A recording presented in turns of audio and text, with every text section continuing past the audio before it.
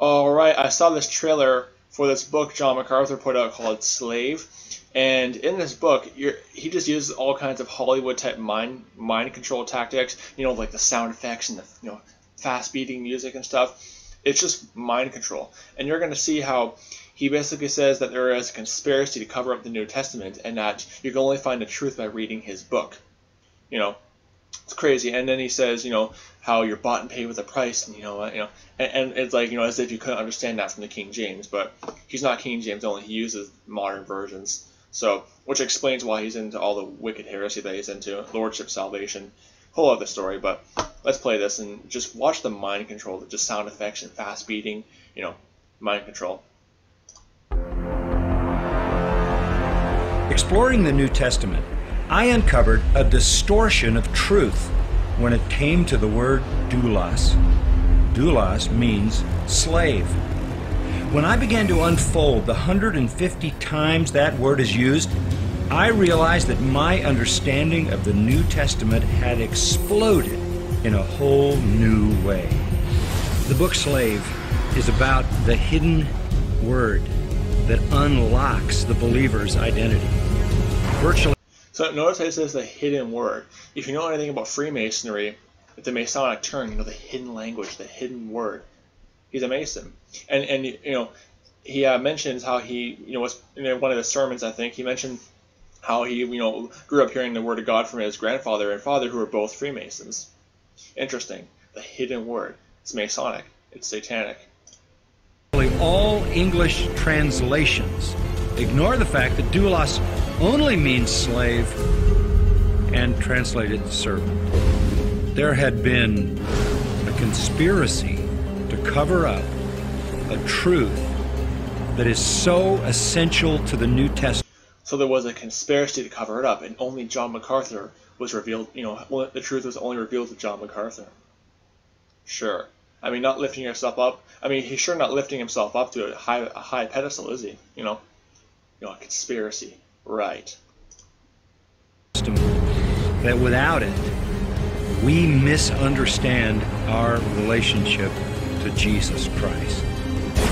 A servant does a job, a slave is owned.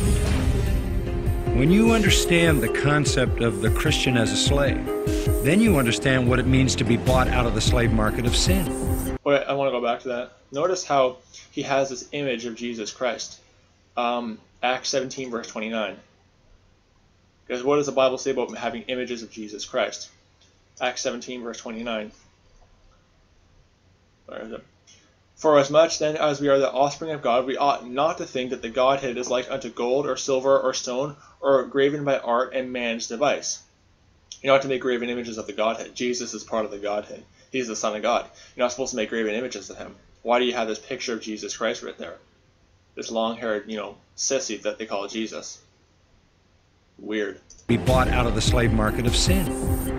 The last thing I want to point out on this part of this video is he says, you know, you understand you're bought out of the slave market of sin. What, and you can't get that from the King James? The King James makes it pretty clear. You know, you're bought with a price. You know, you're a purchased possession. Ephesians 1 verse, uh, 1 verse 14.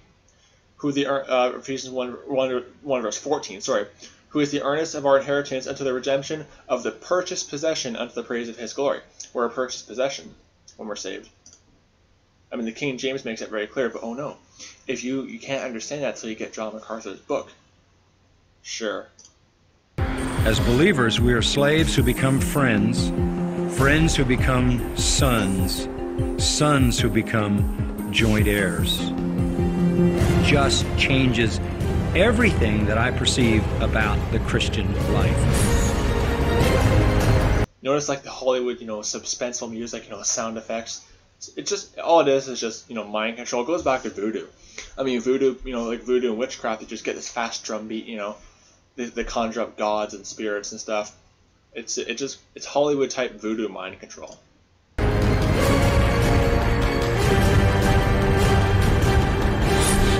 Jesus is Lord and I am his slave. Wow, I mean, that was just. I mean, if you're not convinced this guy is a false prophet, I mean, he's just saying, you know, there's a conspiracy to cover up the New Testament, and you can only learn that truth with by reading my book. He's a false prophet, proven. So again, I'm gonna come out with some more stuff against this lying false prophet John MacArthur, but don't be deceived by this guy. He's um, he's a minister of Satan. You know, and using Masonic, Masonic terminology, Freemasonry term, terminology, you know, the hidden word. He's a Mason. So anyway, God bless you. Goodbye.